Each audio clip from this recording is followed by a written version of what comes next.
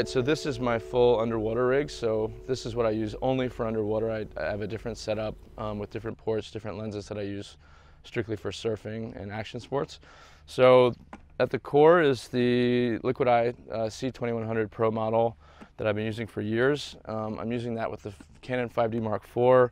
My standard sort of underwater best all-around rig is the 16 to 35 f2.8 and I've got a gear sleeve so I can change the focal length. It's great because you know, the angle's wide enough that I can overcome if I have any sort of visibility, water clarity issues. This uh, works and it doesn't cause any distortion uh, because sometimes I also use a fisheye if the water's a little cloudier, but then you have some distortion issues.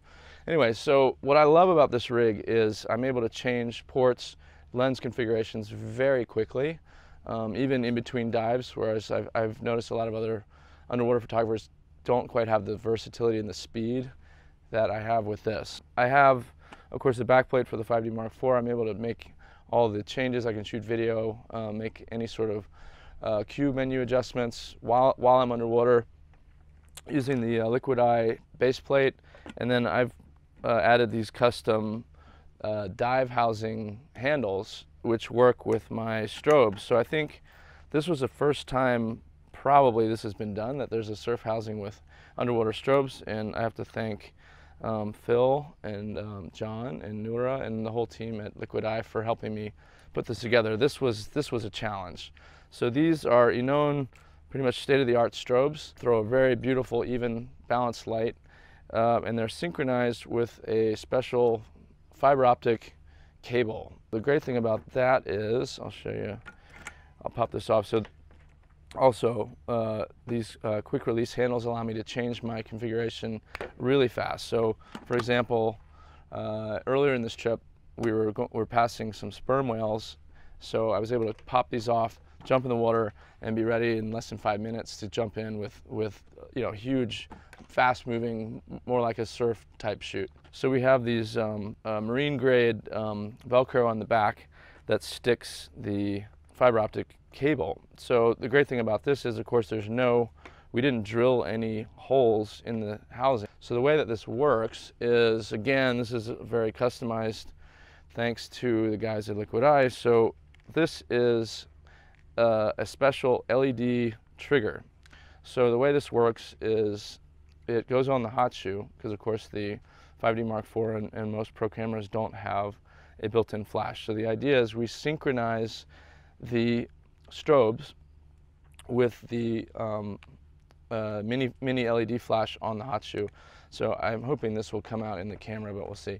What we ended up doing is the you know the space inside the housing is quite compact. So the Liquid Eye guys actually rewired this whole thing, so that's why the wires are kind of everywhere. But it fits inside the surf housing, which is again, like I said at first. So here, basically, what happens, I'll, I'll demo. Um, so this is a small, tiny LED and when I trigger the uh, button on the, on the camera, it actually fires a tiny little flash and that runs on this little tiny watch battery. And these, you know, another great thing about this is it, it, it, it, draws such a tiny amount of electricity. The last time I was here in Raja Ampat was February. I shot 14,000 photos on one battery and it still was going. So basically to show you how this works to finish this part. Um, I attach, this is a tiny fiber optic cable to my uh, housing and I'll just show you just a simplified version here. So basically the strobe is connected and I'll point it to blast out the light here. So basically you can see when I hit the trigger my uh, strobe is firing so again, it, it's uh, pretty groundbreaking. It's it's it's got all the advantages to me of an action sports setup, but then I'm able to do uh, great, you know, underwater deep deep diving shots. So yeah, let me show you more about what I'm using. So I'll put these aside. So um, at the surface, I'm using this big, um, super large um, dome. So this is for split shots. You can't really dive with this because of the buoyancy. It's, it's very difficult. But um, with this, usually what I'll do is I'll rig this with the um, 8 to 15 fisheye, love this lens, or the 16 to 35. So those are the two lenses that I use with the with the with the large dome. Then for deeper diving, uh, the the fisheye is kind of my um, for really super wide reef shots and, and large animals like whale sharks or whales, actual whales. Um, I use the 8 to 15 fisheye. And the great thing about this is you get very close to the subject, so it can make the water look almost like it's not there. Uh, amazing, amazingly clear shots underwater with this. So I use this uh, small dome port um, for the fisheye, but then I also started using it using the spacer. This is a very handy um, rig that I've only seen with uh, Liquid Eye. So this, this is a spacer port. So basically what this does is, is it extends the port, I don't know what that is, maybe two inches, but it's enough that I can change uh, the lens. So this basically just screws in and I use this now, if I know I'm gonna go deep underwater, I use this convex dome with the 16 to 35 because the, the pressure of the water, you know, every time you go down 10 meters, the pressure doubles. So I actually have had a slight bit of um, kind of convex bending on the flat port when I'm at, say, 30 meters, which can cause the edges of the photos to be a little soft. So you obviously don't want that. Of course, the standard liquid eye um, pistol grip. Um, this, again, I use this more for action stuff. So uh, if I know I'm going to be in the water with something fast moving. So um, on this trip, I used this for uh, small blacktip sharks that were moving really, really fast. So again, what I love about this rig is how fast it is to change. So all I have to do is unscrew these four screws, rescrew the uh, pistol grip on, and I've got a completely different setup. I have started using the for really close-up shots, and I think this is, again, probably a first for the surf housing world. Um, we're using a 100 millimeter Canon's uh, much loved uh, 100 millimeter uh, 2.8 um, uh, macro lens. Beautiful lens. Never thought I would ever shoot macro with this uh, setup. So the way that I do that is I take the, this flat port that is also good for the 16 to 35 and I combine it with the um, spacer port. So again, I've got a totally different port configuration in seconds. So this is, this is the macro setup. Then this is my 5D Mark II, my old trusty 5D Mark II. This thing's been through a lot of adventures. I've shot many, many of some of my favorite shots with this camera, but it's now my backup camera, so it's been retired. Um, so it rarely, this trip, it didn't even get used at all. So it's really more of a backup camera. But um, another lens that I use underwater is the Canon 24-70 f uh, 4.0, um, which is nice for sort of medium macro shots if you're if you're trying to shoot, say, um, maybe a close up of something like an anemone fish, clownfish, or a, a real tight shot on a particular coral reef, you can set this macro setting. It's not super good at, at 24. I, I feel like it's it's a it's a compromise on the uh, water clarity, but as a kind of a medium macro, it works quite well. And again, we've got a different port configuration that is easy to change. So this one, we need to use the trumpet um, port. So because, I'll show you how this works. So again, with the spacer um, port, um, of course, this lens, when I'm at 70, it's actually extending.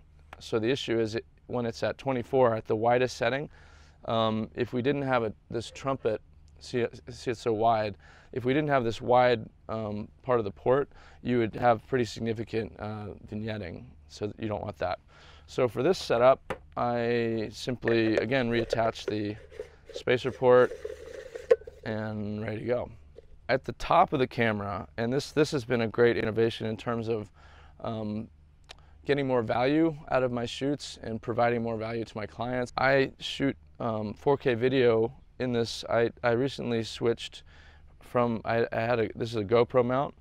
This is not a GoPro. So I, I, I switched from GoPro to the DJI Osmo, which I have to say is a much better camera for many reasons. Um, I, well, it's A, it's cheaper than, than, than the GoPro. The specs are better. They're constantly adding um, new features with the firmware, which I've never I've never seen GoPro do that. You can remove the uh, lens port here, on on the Osmo, and you can substitute in like a ND filter. I have a polarizer, which is great, of course, because I shoot in tropical locations all the time. So um, the great thing is with this, I simply attach the Osmo to the top, and I use these are uh, GoPro mounts, but I like it to be a bit above because sometimes if the port extends, you'll get you know a tiny edge of the port. So obviously you don't want that. Um, Osmo rock solid, so it's it's great. I can shoot both photo and video at the same time, kind of doubling the the the uh, potential value to my client or you know whoever I'm working with. Also in the DJI family, I really don't go anywhere now without the DJI Mavic 2, which is just an absolutely awesome piece of equipment. Um, I've shot so many magazine covers with this. Uh, it, it, you know, it, it, it's compact. It fits in my carry-on bag. I mean, this this this is a full production for shooting everything from 40 meters below the surface to 100 meters above the surface. So amazingly compact, I think, uh, this rig. I mean, all the really central components fit in my, literally fit in my carry-on and my small bag. So that's, that's how I like to travel, lightweight and fast. And the great thing too, uh, using this um, DJI combo is the color space of the Osmo perfectly matches the color space of the Mavic, which is awesome. So it's the D-Cine-like um, flat color profile, so you can add your color grade on it and, and get really, really top level results with a compact camera. Uh, the boat's coming back. We're, we're uh, at sea here. Um, this is a 7200, which I use more uh, obviously above water. This, this would never work underwater, but I, I, I like to have a uh, medium zoom like that so I can shoot you know tight shots of stuff um, above the surface. All right, so that's it for the camera equipment, but I have to mention I have another piece of equipment that I kind of always have with me. So I've, I've been working with Patagonia for years, and this, uh, this new Yulex top is amazing. So I'd use this for diving, surfing, free diving, any sort of situation where I'm gonna be cold and maybe wet. This thing is great. Um, Patagonia board shorts pretty much live in these again. And the last piece of essential equipment is this boat. I cannot say enough about the Seven Seas and the crew, captain, the whole team is amazing.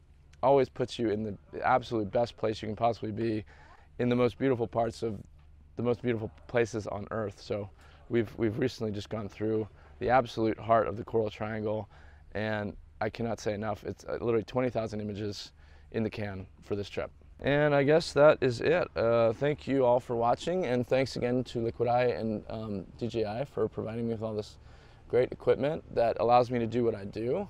Um, and oh, last mentioned, this is this this recording is actually being made on the DJI, the very new DJI Osmo Pocket 2, which this is the first trip that I've actually tried this camera on, and I have to say, it is amazing. Um, I'm able to pick up and really quickly uh, create videos like this, whereas before it was like, okay, you know, I got to set up the ND filter, got to set up the tripod, I got to get the audio equipment, I got to mic myself, blah, blah, blah, blah.